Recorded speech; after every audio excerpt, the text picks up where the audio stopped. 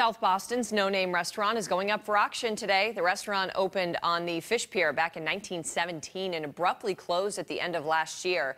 The restaurant's lease, name, equipment, and liquor license are all up for bid. The auction begins at the restaurant at 11 this morning.